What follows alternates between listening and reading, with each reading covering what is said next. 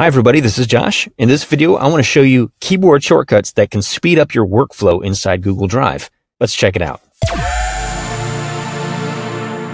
So to find a list of the keyboard shortcuts available in Google Drive, there's a gear icon right up here, and that's the settings. If we click on it, it'll open this pop-up window with keyboard shortcuts. Currently here on the second item, if we click that, it's going to bring up a window with all of the available keyboard shortcuts sorted by popular keyboard shortcuts. And as you scroll down, you see there are plenty more. Now, I like using keyboard shortcuts because it really helps navigate through my Google Drive as well as create documents quickly without having to go through context menus or even having to click anywhere at all. And remembering these keyboard shortcuts has really saved me a lot of time. Now, remember, Google Drive is like a virtual computer. So these keyboard shortcuts are for managing your files while you're inside of Google Drive. The documents, slides, spreadsheets, and drawings are like applications. And those have different keyboard shortcuts. So Google Drive is more like Windows Explorer or Finder.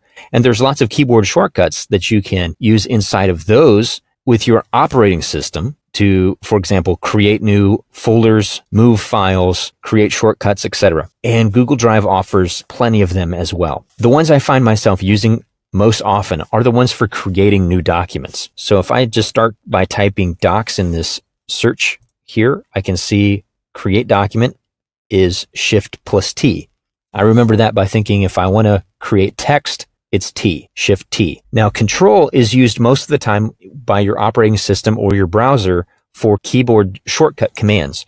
So Google Drive is going to take advantage of the Shift key most of the time. So for creating a new document, I can hold down Shift and push T, and it's going to open a new tab with that untitled document ready to go. It's the same for drawings. Shift D for drawings. It's going to open a, a new drawings document in a new tab. Shift P is for Google Slides or presentations. Shift S is for a spreadsheet. And you can find all of these in the keyboard shortcut list. If I scroll down to the create heading, you can see for creating new folders, documents, presentations, spreadsheets, forms, and drawings, here are all the keyboard shortcuts. And those I use a lot. With a shift F, I can create a new folder, give it a name right away. I'll call it drive.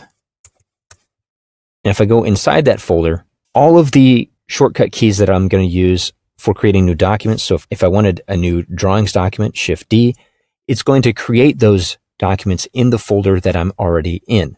So whatever folder I happen to be focused in and use those shortcut key commands for creating new documents, that's where it's going to place those documents.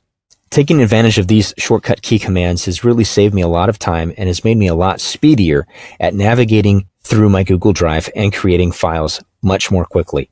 And I hope that it helps you too. Thanks for watching. Bye for now.